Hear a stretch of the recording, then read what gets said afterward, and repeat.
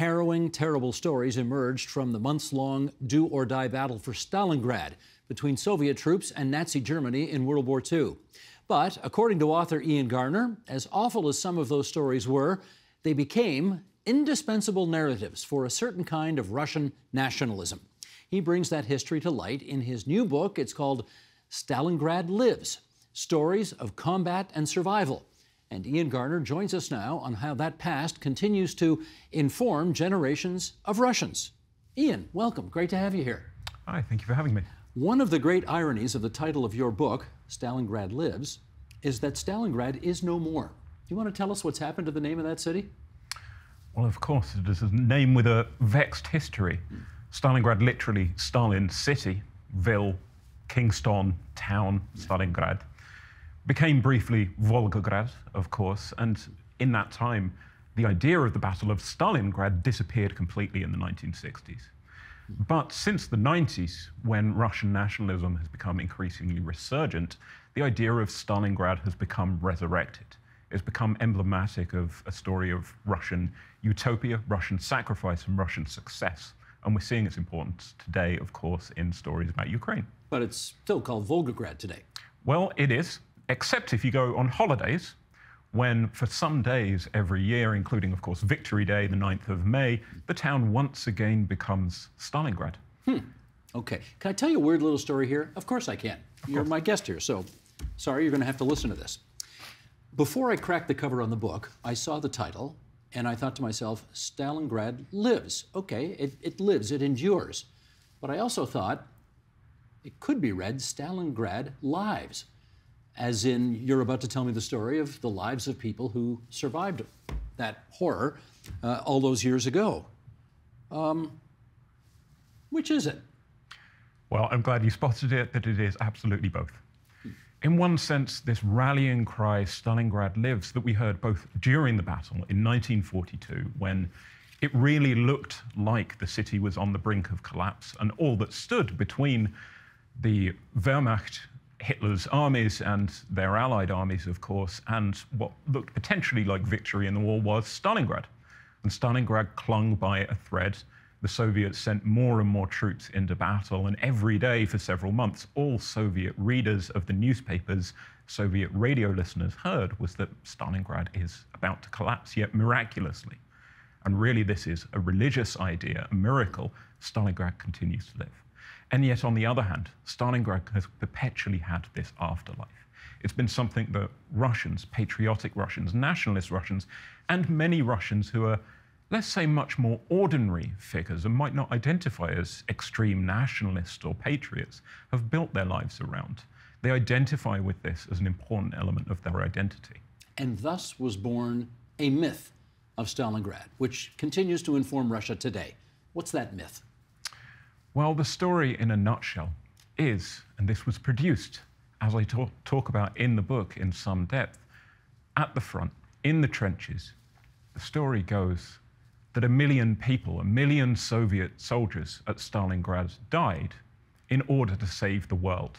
The city itself symbolically died in order to save the world. There is this messianic idea of sacrifice, and you'll start to hear, see here this almost Christian idea of sacrifice. It's not a regrettable sacrifice that a million people died. We wish we didn't have to do that, that there was some other way. The idea is much like the story of Jesus in Christian legend or Christian myth, these people had to die. They had to be martyred to save the city, to bring the country and bring the world back to life. And stop fascism, stop Nazism. Exactly. Hmm. How different was that myth, as you've just described it, from the reality of what transpired 80 years ago? Well, in many ways, it's striking that much of what occurred at Stalingrad was well reflected by Soviet writers at the time. And in the book, I delve into how the Soviet Union sent its finest novelists, men like Vasily Grossman, the famous author of Life and Fate, to the front and they actually documented what was happening pretty accurately, recorded their thoughts and feelings for Soviet readers as they felt the city was on the brink of collapse, as they felt the city was dying. And yet somehow the Soviets pulled a miracle out of the bag won the battle with quite an astonishing counterattack in November 1942. And these people felt that this miracle really had taken place, that somehow they'd gone from staring defeat in the eye to believing that a march to Berlin and victory in the war was possible. If there's one thing I suspect people have heard as it relates to this battle 80 years ago, 80 years plus ago, it's that as, as Russians retreated at some point, other Russian soldiers shot them uh, to, to, to you know, scare them into turning around and continuing to face the Germans. You tell us in this book that kind of thing didn't really happen very much at all. Is that right? Well, the sad reality is, to a certain extent, it did happen. Something like 10,000 Soviet soldiers were executed by their own sides at and around Stalingrad. And this is a huge battle. It's not just restricted to this small city, it's taking place on a front that is hundreds of kilometers long. And the reality, of course, is 10,000 executions is awful. It's unspeakable, it's horrific, but by Soviet standards and by the standards of a battle where a million people died in six months, this is almost vanishingly insignificant when we look at it on this numerical scale, at least. Instead, what we see is a real surge of patriotism and enthusiasm from really the beginning of the war and then centered around Stalingrad, this do or die moment. And Soviets were keen to go to the front. They were asking to go to the front. They wanted to go to Stalingrad. They wanted to defend their land because they believed, as Russians today believe of Ukraine, that by fighting this war, they are avoiding the possibility of total obliteration at the hands of a genocidal army. Russians believe that, or the head of Russia believes that?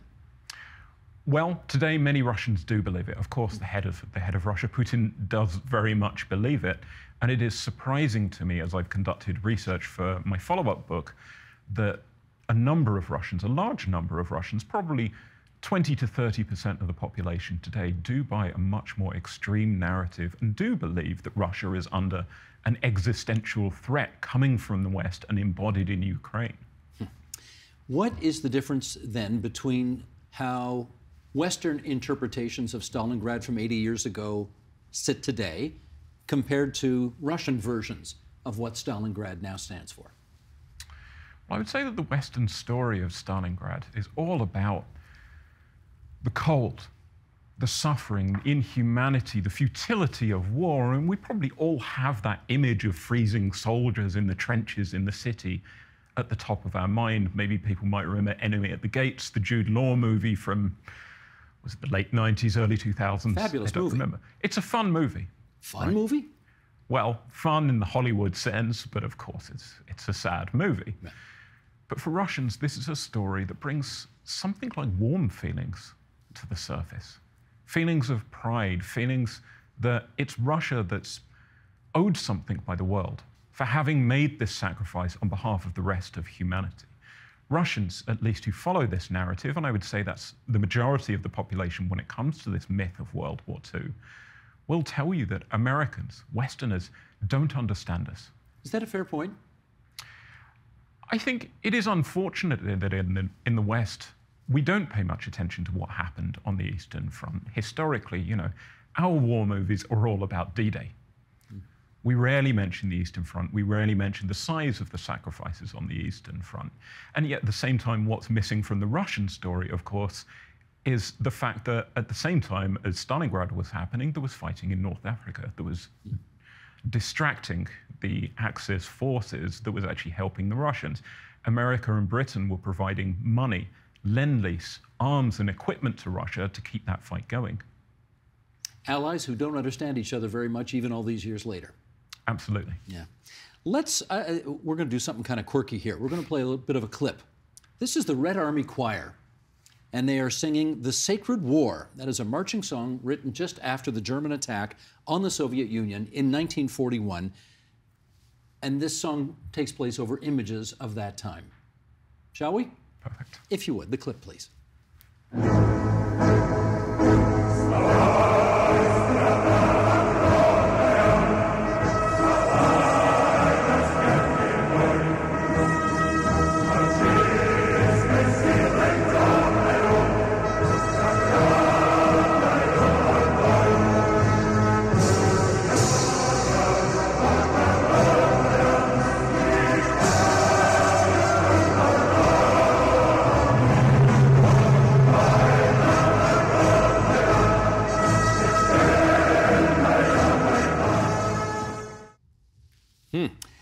a sense of what Russians today think when they see and hear that?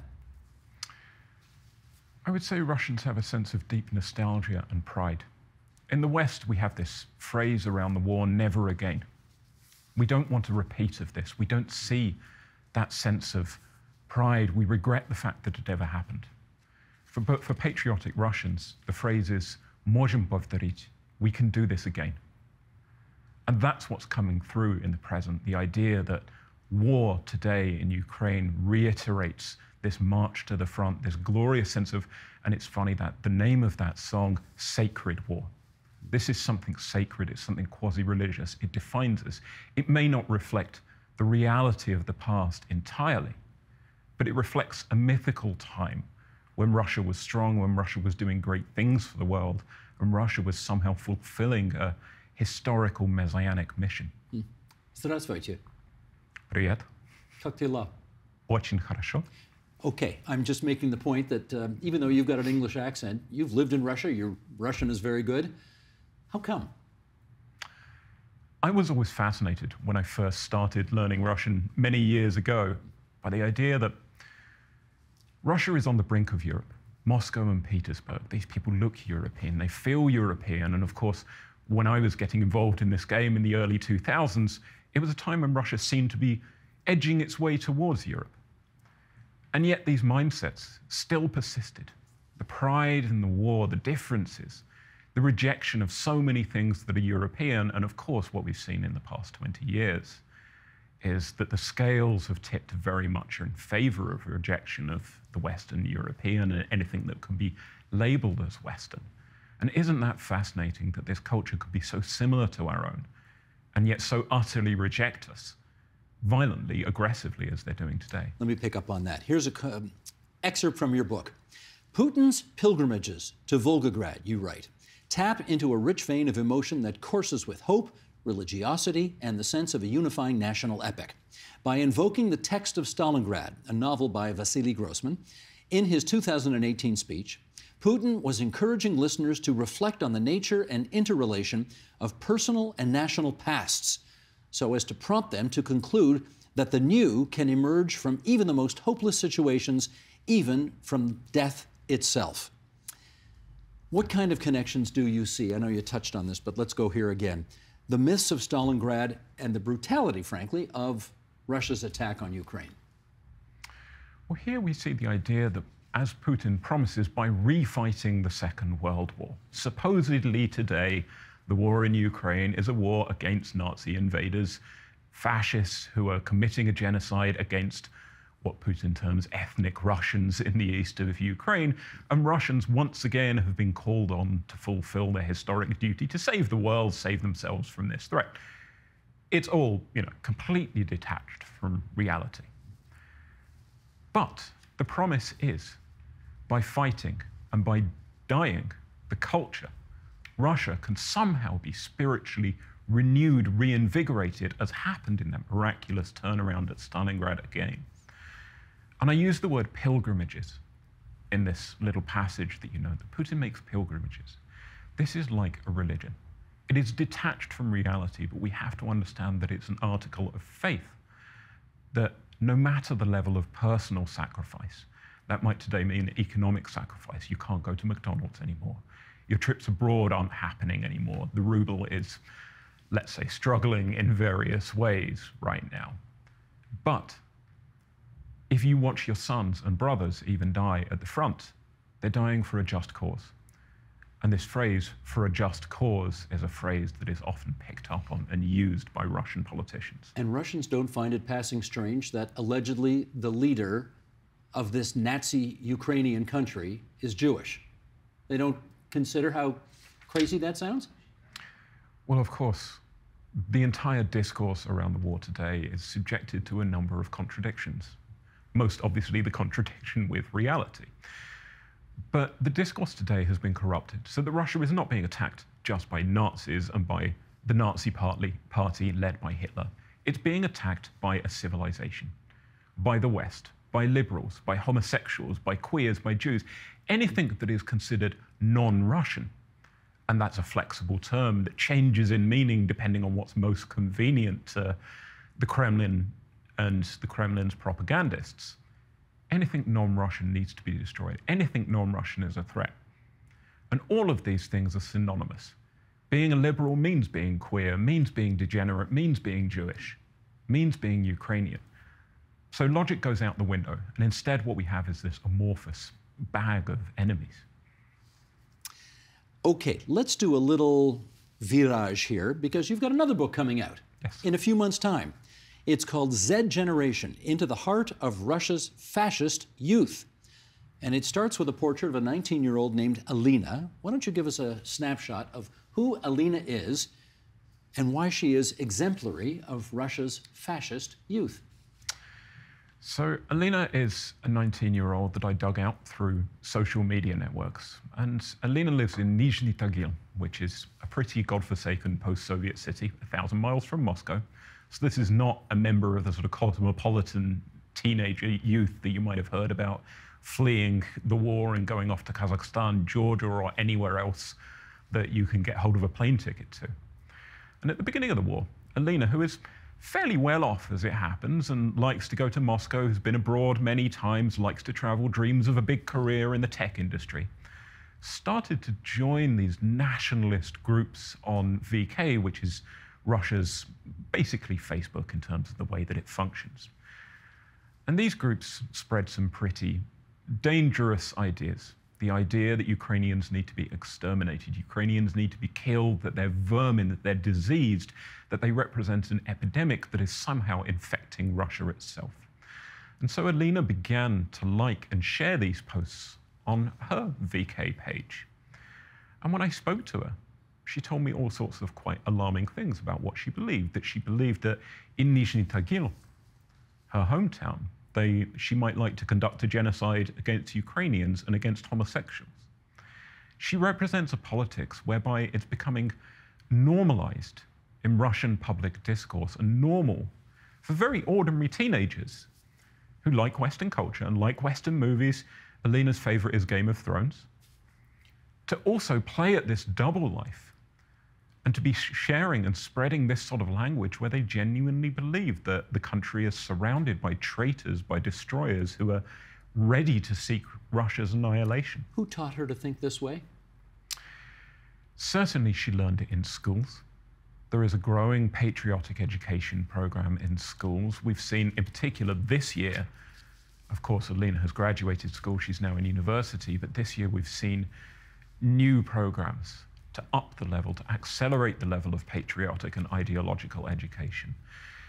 In popular culture, we see movies, TV shows that express this material constantly, whether it's trashy chat shows, whether it's political discussion shows, whether it's movies about the Second World War, which twist this genuinely heroic narrative of Stalingrad that we've been talking about into something that is deformed and dangerous and that is used to justify any level of violence. And as teens like Alina and her peers talk to each other in closed off VK groups and on networks like TikTok, they egg each other on to say more and more extreme things and create this um, sense of snowballing hatred in little bubbles on Russian social media networks. And of course, that is entirely supported by the state. Let us share, again, another excerpt from This Now Your Second book coming out in May uh, on your less than optimistic take about Russia's future. Can we get this quote up, please? One thing is for certain, you write the quasi religious concoction of nationalism, war, martyrdom, and rebirth being poured down the throats of Russia's young today will leave its mark. Everything tainted with the influence of the West democracy, homosexuality, difference, the non Russian is suspicious. Everything Russian is praiseworthy, and everything Russian is under threat. Even when Putin is long gone, this Frankenstein identity toolkit will live on. Let's finish up with this. Uh, I want to ask you about Alexander Dugin, who was a guest on this program actually several years ago, a Russian conservative thinker. Daughter recently killed in an assassination attempt on him, which went bad and ended up killing his daughter. He said on this program that Russians have a different anthropology. That, as far as he is concerned, and here was his quote to be human is the same as belonging to the whole.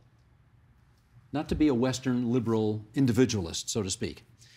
Do his ideas, in your view, have widespread uptake among Russian youth today? Well, Dugin's influence is in some ways overstated. He doesn't have direct access to the Kremlin. He never really has had a hotline to Putin or anything like that. He's certainly not Putin's brain, as he sometimes That's what they named. called him, yeah.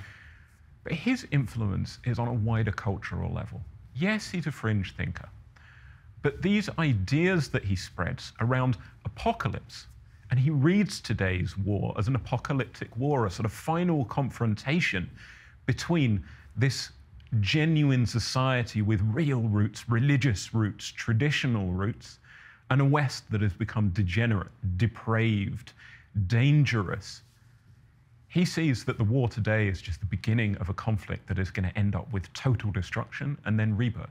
Once again, we see this sort of messianic Christian myth at play.